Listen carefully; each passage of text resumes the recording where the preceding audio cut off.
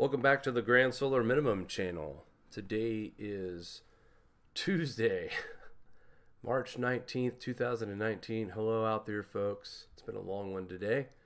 Let's get right into it here at the grandsolarminimum.com where we list every article that we cover in tonight's show. We also have the video embedded so you can play it along and go through the menu as if we were uh, reading the show back to you. But anyway, let's start off with some space weather news. Checking out our solar wind speeds, sitting at a 401.4 kilometers per second and a density of about 6.7, so not much change from earlier this morning. And take a look at that alignment. And we've had KP of 1 over the last 24 to 48 hours, so wouldn't be surprised to see a possibility, especially with some geomagnetic unrest coming our way. And right on schedule, here we see the KP indices now at a 3, and that's a 24 hour max as well. Uh, very weak activity for any kind of solar activity, uh, and we're talking about sunspot number 2735. Let's go ahead and zoom in on this bad boy. Not very big. Sunspot number 13 uh, grew a little bit as it turned earth facing, but as you see, it's losing some of its lackluster now as we speak. So we will remain at 53 days without a sunspot. And let's take a look at the SDO in motion and we'll get a bit zoomed in a little bit on that sunspot AR27 there we go right there. Uh, again nothing to worry about as far as any solar flares nothing that's saying we could get one as a possibility. We saw a C-class flare not too long ago as well. So watching a couple regions here as earth facing turning away a little bit of activity starts to flare up here. Could we be witnessing the birth of something else? Anyway the solar wind uh, will be arriving as well later today as we have barely increased whatsoever from previous solar wind speeds earlier today. But it is on the incline and looking over here in the farther further eastern part of the limb of the sun, we do not see any indications that we will be dealing with any kind of new sunspots. Uh, even looking at this right now, still questionable, and we will just have to watch these locations that are earth facing right now at the current time. Uh, KP indices are picking up, so it is a possibility that we could see a minor G1 uh, geomagnetic uh, activity type storm for tomorrow. But uh, again, that's a low chance. We're slowly climbing up to 3 uh, KP right now. We'll have to monitor throughout the evening and into the morning to see if a storm actually does happen. And again, G1, we talked about these yesterday or, or the other day on Space Weather, how we typically see more um, geomagnetic geomagnetic activity in the month of March. It's very typical. Uh, there's been studies done on it, and of course in September and October near the near the equinoxes. So good correlation. We covered it yesterday in our solar update. Let's get to some GSM world news. Now we're doing things a little different tonight. So we have broke this show up into three segments. Uh, this is the beginning of the first segment of the show tonight, GSM World News. We will play a brief 15 second uh, advertisement of our channel, and then we will move into the next section. So don't be alarmed when you see Mari talking about the website and where to like us.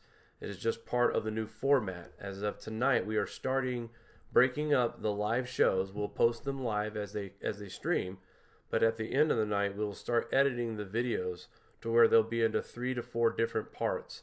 That way you can listen to it on your time instead of an hour at a time. We're going to try to keep them between 15 and 25 minutes at a time.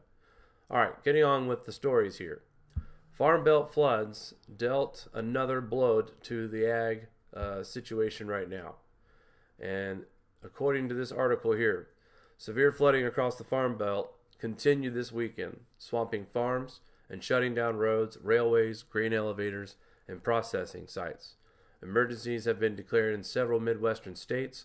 Total damage has been yet tallied, but it's possible Congress could eventually step in, especially as lawmakers are already working on final disaster relief packages to address damage from the 2018 hurricanes and wildfires. Now, this also includes the flooding that we uh, experienced last year in the spring. Remember, last March wasn't so kind to us. We had quite a bit of uh, nor'easters to wrap up the year, and just heavy rain across the south. We flooded in the Midwest. Um, we reported on the crop situation for oh a few weeks into April, into the first week of May, until we started seeing people getting into their fields finally by mid-May and early June, which is really cutting it close, guys. But again, pointing out an article about uh, farming, the concerns that we have with this weather. Uh, with a new food safety leader finally in place, the Agriculture Department is looking to advance several regulatory chances or changes this year, including new salmonella standards and pork processing inspections. So, on top of the fact that they're going to see delayed crops, they're going to see uh, not a healthy yield, and I mean by size, now they're going to have stricter regulations on the standards on how the food gets sold.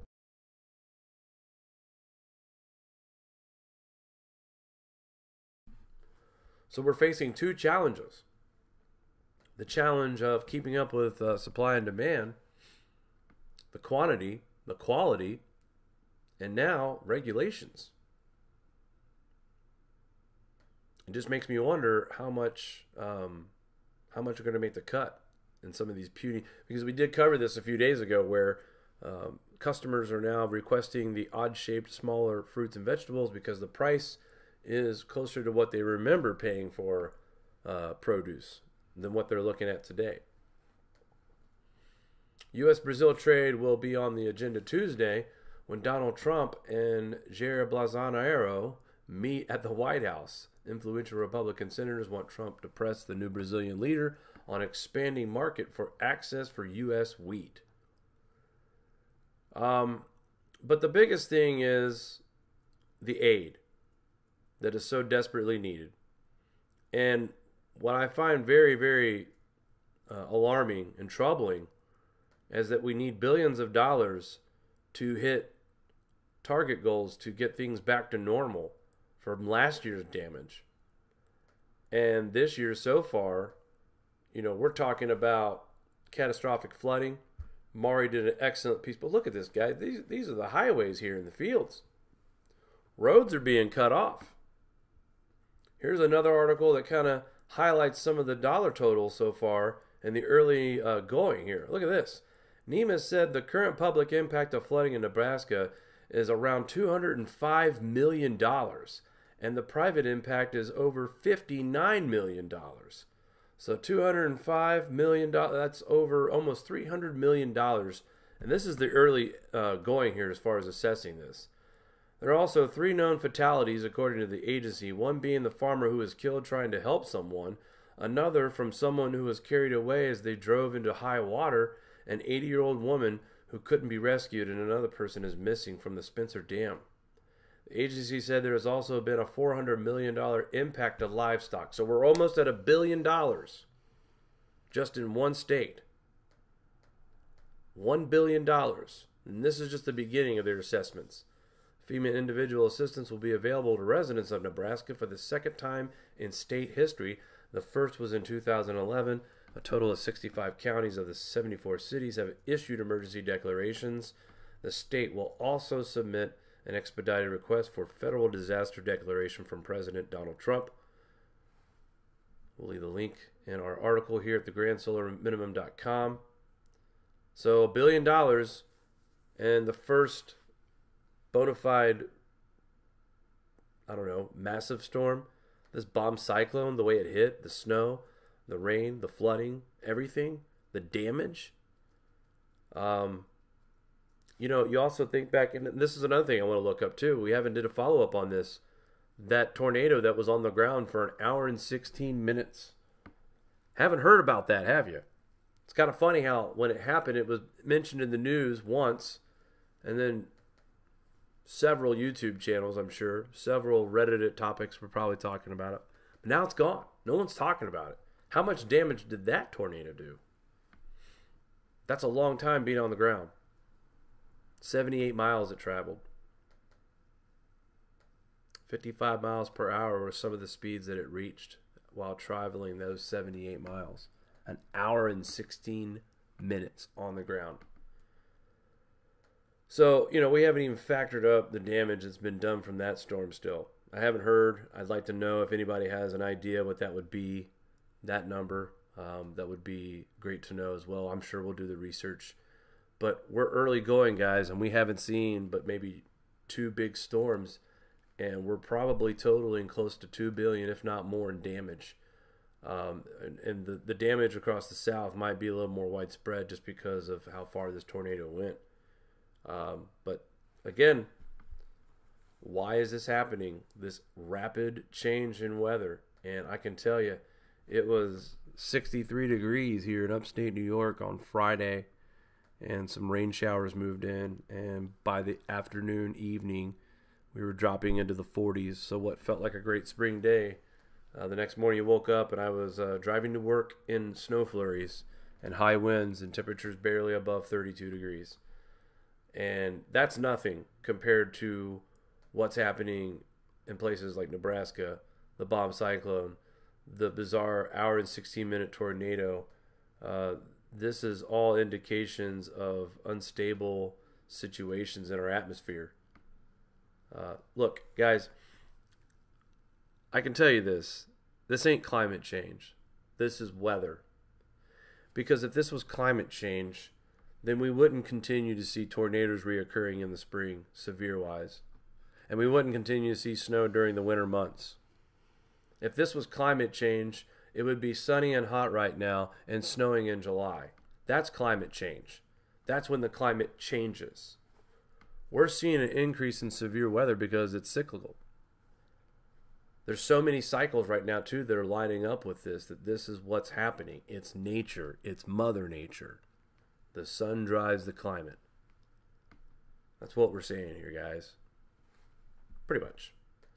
Uh, death toll in mozambique mari covered this in uh, a part of the video today. I'm just going to briefly touch base. The president of mozambique said monday march 18 2019 that the number of people killed by tropical cyclone idai could exceed a thousand.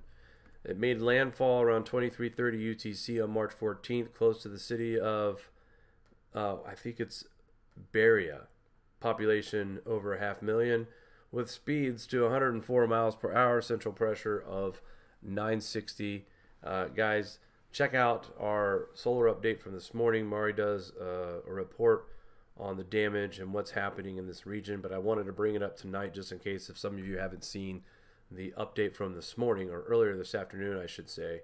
Uh, we'll leave a link also on our website. Severe tropical cyclone Trevor hits Queensland, 11.8 inches of rain, uh, 124 mile an hour gusts have been reported. Australia getting hit again, heavy rain, historic rain. Says here it made landfall at 6:55 UTC on March 19th. Category 3 was the strength. Winds were in excess of 124 miles per hour, were reported at far north Queensland, and more than tw- almost 12 inches of rain overnight. So, less than 24 hours, we get 12 inches of rain. According to local media reports, entire communities were put into lockdown at 1300 local time, March 18, with emergency sirens sounded to alert residents to seek shelter until it was safe to come out. A little freaky there. While Trevor started weakening after making landfall, meteorologists are urging residents to take caution as strong winds, gusts, and heavy rains are possible and expected to continue in its passage over the land. Trevor is expected to exit into the Gulf of Carpentaria on March 20th and then quickly re intensify in the Gulf later this week, possibly reaching a Category 4 strength. Cyclones in the Gulf are notoriously erratic and so the forecast track and intensity may change a lot between now and then, says Adam Morgan, BOM senior meteorologist. And take a look at this bad boy motion. Wow. I can just tell by the cloud signatures and the definition of the spirals of this storm right now. You wait till it gets back over the Gulf. Intensifying indeed. Massive storm here, folks thanks to the watchers for putting the information together for us and reporting on this. I don't know about you guys, but I didn't hear about this storm today on the news, and I watch the news every day. Deadly earthquake here in Lombok, Indonesia, shallow earthquake registered by the USGS as a M5.5 hit Mount Rinjani in Indonesia 707 UTC on March 17, 2019, triggering deadly landslides at the Tiu Kelep waterfall in, Bayan, in the Bayan district. The quake hit about of a depth of 14.7. Uh, they're reporting it as a 5.8 in some spots. According to the statement released by the Meteorological Meteorolo- Meteorology, Climatology, and Geophysics Agency, the quake caused a large landslide and killing several people, trapping about 40. There were about 40 tourists affected by the landslide. Most of the victims were Malaysians and domestic tourists. Uh, the Regional Disaster Migration Agency and the Northern Lombok Health Agency dispatched four ambulances to the scene, as well as medical and rescue personnel to aid and relocate victims. Two people were killed, 44 injured, 32 homes collapsed, and 499 homes were damaged. So we can see the pictures, the aftermath of what had happened here in Lombok. Not a stranger to this kind of uh, uh, events. In fact, this region was one of severely badly damaged areas after a series of earthquakes hit the island in July and August of 2018, killing more than 500 people and leaving around 1,500 injured. So unfortunate that we were talking about this region once again before a year anniversary of some intense uh, seismic activity that took the lives of over 500 people just this past summer.